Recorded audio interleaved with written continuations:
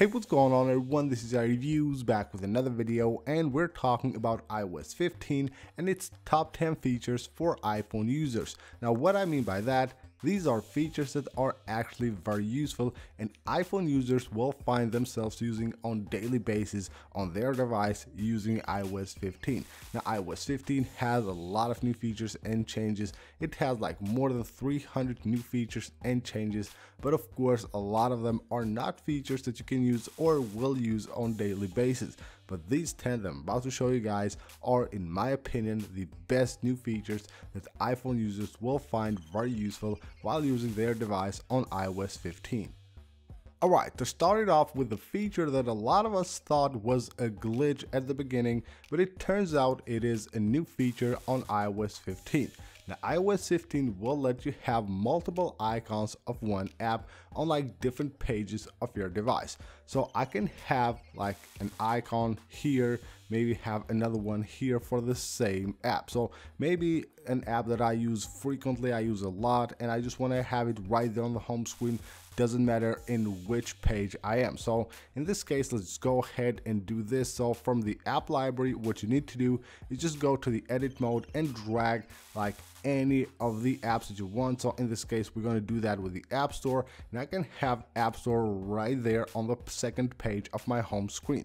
I have it here as well. And you can see I can open App Store there and I can go ahead and of course open it in here as well. This is really, really cool. You can have access to your favorite app or the app that you use the most on any page on your home screen. Now the cool thing is that you can do even more than two. You can add as many as you want. So you just go ahead, drag them right there from the app library and you can have like one app in multiple pages on your iOS 15 device. On iOS 14, Apple has introduced Shazam, which is now basically music recognition, and it has just been added to the control center of your iOS device. You can, of course, enable that if you don't have it by going to your settings. You go right here to the control center, and you will find music recognition somewhere down here. If you don't have it enabled already, just go ahead, tap the plus button, and you're good to go. But with iOS 15, you will find a very useful feature which music recognition didn't have on iOS 14, and that's the ability to take a look at the history of the recognized songs. So if you have an iOS 14 device right now, just try searching for a song with Shazam with basically music recognition. It will show you the song and the artist of course, but you will no, no longer find that anywhere on your device. Now with iOS 15, you just 3D touch right there and you will see the history here and you will see a list of all the songs that you have found using music recognition. Of course, if you want to remove one of them, you just slide like that and you will have a delete button. Moving on to new widgets, we have two amazing widgets that Apple has added to iOS 15. One of them being the mail widget. This one is really useful and of course I will use it on daily basis on my iOS 15 device. It's really cool and if you get a ton of emails then of course that will be very very helpful for you. So you can choose basically whatever you want to display right there on the widget. They will have two choices. You will have the medium widget and you will have the bigger one as well. Now if you 3D touch on the widget you can tap on edit right here and you can choose the mailbox that you want to see right there. So anything that you have any of your mailboxes, you can display any one you want right there on the widget. Now, of course, you can have multiple different widgets of the mail app and of course have like different mailboxes on any one of those. And of course, the second one is the contacts widget. That is awesome as well. And it allows you to quickly like call, message, FaceTime any of your contacts directly from the home screen. Now you can have the small one with just one contact or you can have the bigger one with four or even the biggest one as well. Now the process here is very simple. You 3D touch on it, you go ahead and tap on edit contacts, tap right there and just pick any of the contacts that you have on your contacts list and you can display it right there on your home screen and then of course quickly call, FaceTime or message that contact directly from the home screen. Now with iOS 14, Apple has introduced the feature right here that basically allows you to hide and of course display pages on the home screen of your device. Now what Apple did with iOS 15, they just got basically took the features from iOS 14 and made them even better. And this one has gotten a lot better. now you can only rearrange pages like this so on your home screen just simply move the pages right here. They will be rearranged of course on the home screen as well. You can see how cool that is. But you can now also remove pages completely like delete a complete page with apps. Of course the apps won't be deleted. They will be just moved to the app library and that of course is very useful. Now the way to do it first of all you need to dis disable that page from the home screen by tapping right there on the check mark and then tap the minus button right there and remove the page from your home screen and now all of those apps have been moved to the app library. Next up, we're moving to the settings app and right here we have one of the best and one of my favorite features of iOS 15. Go to general and just scroll down right here to transfer or reset iPhone. And right here you have prepare for new iPhone. Basically, Apple now is allowing you to take free space on iCloud in order to move your data your new iPhone. So if you just tap right there, iOS, basically Apple will give you free space on iCloud so that you can move all of your data. So you can see right here we have extra iCloud storage to move apps and data. So you go ahead and move all of your apps and data to your to the iCloud and then of course once you get your new iPhone you move them to your new iPhone and of course that free space is temporary as long as you need just to move your data and then you're good to go. That is an amazing feature and of course a lot of people will find it very very useful.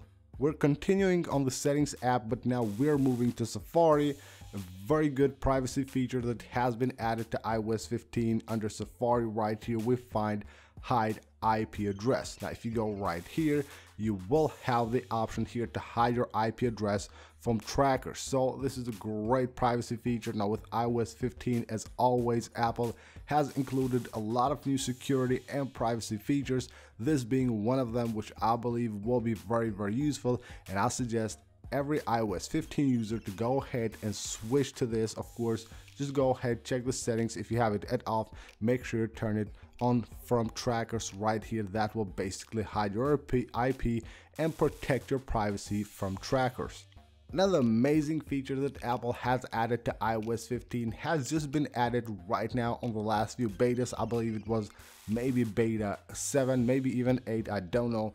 But it's a notification feature that I really, really like and I believe will be very useful for a lot of people. Now go to notifications and right here you will find mail. Now what you can do right here is go ahead and customize the notifications based on the email account. So right here on my phone, I have two different emails, uh, email accounts. Of course, I have a private one and I have one for the channel.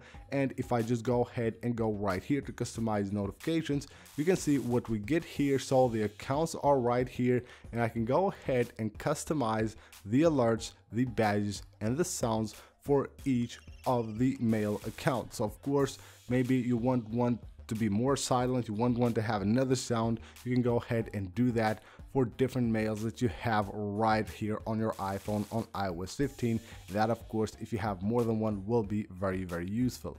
Now here is another one that is very small, very simple, but yet is very useful. How many times have you been on a conversation with someone on iMessage and then you need to call that person on FaceTime? You will have, of course, to go out of the app, go into the FaceTime app, find that contact and call them from there.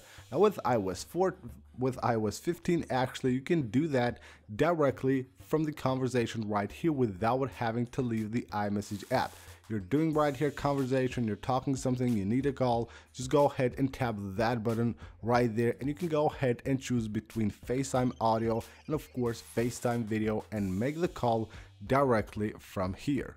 For the next one, we're moving to the lock screen. On iOS 14, if you need to search something on the Spotlight search, you will need to go into your device and of course unlock your device, go to the Spotlight search and search for anything you want. With iOS 15, you can do that directly from the lock screen.